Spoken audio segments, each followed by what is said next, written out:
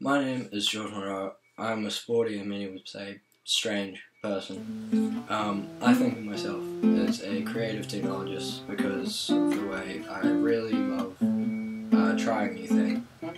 Um, I really enjoy creating my own pieces on the side and I really like teamwork kind of activities which I think will be very important with the kind of projects which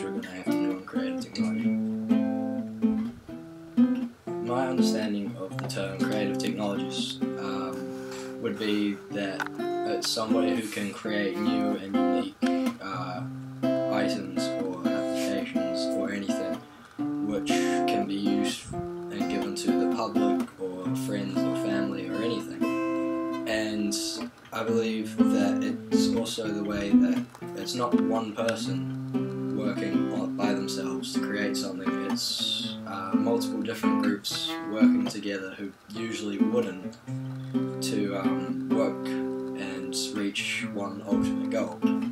Um, in this way, I think that I definitely have the potential to be a creative technologist because I've always enjoyed and loved uh, team sports or group activities because of the, all the sports that I've played.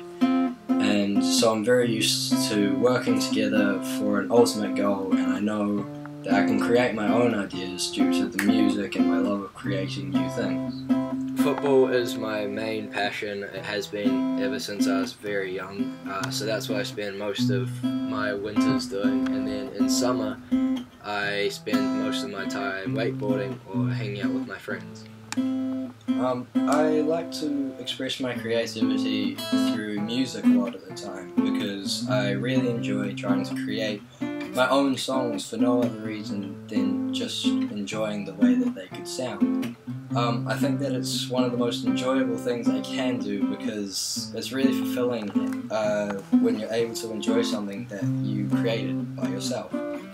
And because I'm also a very competitive and determined person, I feel like I can't really stop until I improve each time, which is why I love football and guitar so much.